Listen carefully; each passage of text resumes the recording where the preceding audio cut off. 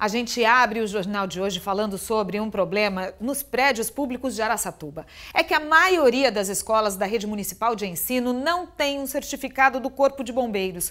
Esse documento é que garante que os equipamentos de segurança contra incêndio estão adequados. Olha só, 85% das escolas estão irregulares.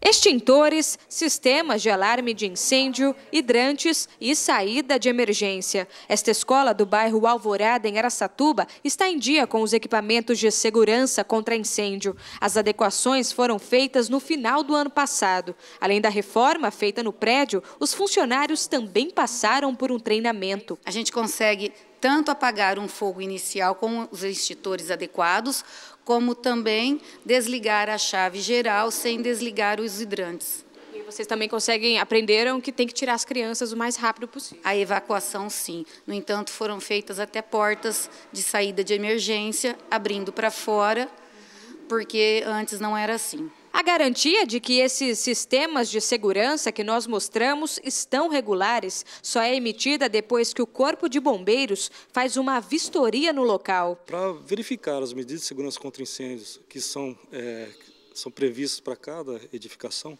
ela leva em consideração o uso da, da edificação, a área construída e a altura da edificação.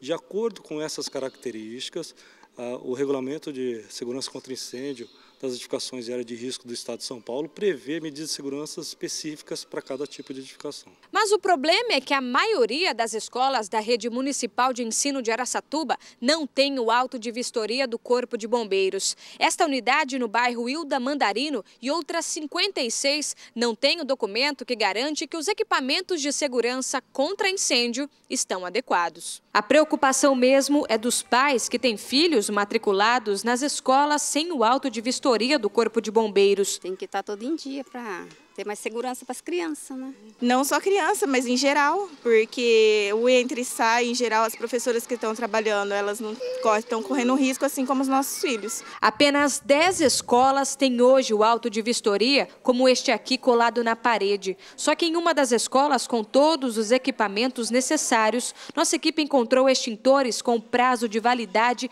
quase terminando. Eles vencem no final do mês. As escolas da rede municipal atendem diariamente a média de 200 alunos. Nós procuramos o secretário municipal de Planejamento Urbano e Habitação de Araçatuba para saber o que a prefeitura pretende fazer em relação à falta do certificado do Corpo de Bombeiros. Nós estamos fazendo o projeto de todos os próprios municipais com prioridade para a educação. Uma vez esse projeto é, recebido pelo bombeiro, o bombeiro ele é aprovado em São Paulo, não é Araçatuba. Tá? Aprova o projeto, projeto volta aqui, a gente vai providenciar a instalação desses equipamentos. Qual é o prazo para isso estar regularizado? Olha, nós pretendemos fazer toda essa escola até no máximo em meado do ano que vem. O secretário disse ainda que sem os documentos que estão vencidos nas escolas desde o ano passado, as crianças não correm risco. A escola não é um ambiente de risco. Tá? Tem outros ambientes bem mais problemáticos do que a escola. Né? Lugar que tem fogo, lugar que tem combustível. Escola não tem nada disso. Então é, o risco é muito pequeno, mas o risco existe em toda parte, né? Se algo acontecer, 67 escolas não estariam preparadas, então? É, elas têm extintores, tá? Talvez falte hidrante em alguma delas.